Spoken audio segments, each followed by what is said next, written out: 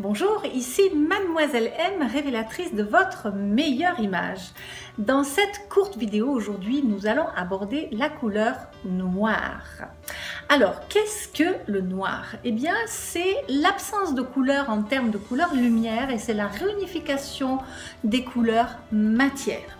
Alors, le noir, chez nous en tout cas, euh, dans certaines cultures c'est un petit peu différent, mais euh, c'est la couleur de la nuit, du deuil, de la tristesse, du chagrin, de la faim, du néant, des ténèbres, du chaos, de l'ombre, de l'opacité, de l'épaisseur, du mystère, des funérailles. Euh, voilà, donc vous l'imaginez, ce n'est pas une couleur très gaie. Euh, en même temps, c'est la couleur de l'autorité, parce que c'est une couleur qui montre une maîtrise de soi, une forme d'indépendance. Et c'est pour ça que si vous regardez les juges, les avocats, les prêtres sont habillés en noir et pas en rose dragé ou quoi que ce soit. C'est une couleur donc qui est dure et d'ailleurs qui est dure aussi au visage et sous les traits. C'est pour ça que c'est une couleur que je ne vraiment que je ne conseille pas, même si elle vous va bien, je vais toujours vous inviter à porter d'autres couleurs. Euh, donc c'est une couleur de formalité aussi, c'est une couleur sophistiquée, hein, un petit peu la petite robe noire comme ça. Euh, c'est une couleur d'indépendance comme je vous ai dit. Maintenant le côté négatif du noir, vous l'aurez compris, c'est son côté pessimiste, c'est son côté pesant, c'est son côté angoissant et c'est son côté déprimant.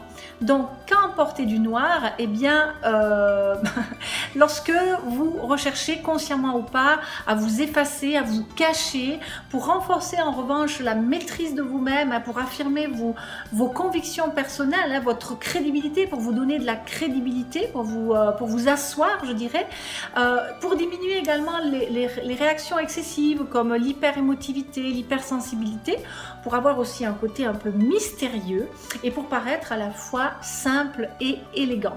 Maintenant, attention, trop de noir rend la vie et les choses pesantes. Le noir est aussi une couleur désénergétisante. Hein. Elle accentue, comme je vous ai dit, l'autorité, la rigidité.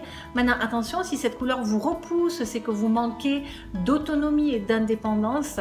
Donc, apprenez à ce moment-là à vous imposer une discipline et à ne pas gaspiller votre temps et votre énergie. Euh, juste une petite parenthèse sur la notion d'élégance. Je vous ai dit aussi que le noir était une couleur qui absorbait la, lumière. Hein. C'est pour ça qu'il faut éviter de porter du, du noir lorsqu'il fait chaud parce que ça va retenir la chaleur. Mais si vous remarquez aussi, c'est pour ça que le noir est loin d'être la couleur élégante que l'on prétend.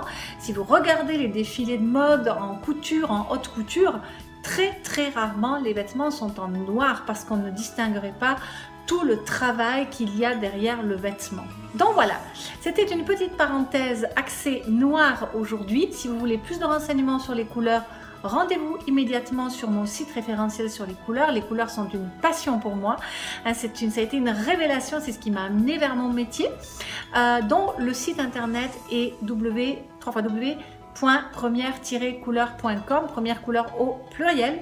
J'espère que vous avez aimé cette vidéo. Si c'est le cas, dites-le moi, partagez-la aux personnes qui pourraient en apprécier le contenu, par exemple celles qui ne vivent qu'en noir pour essayer de les faire sortir du noir.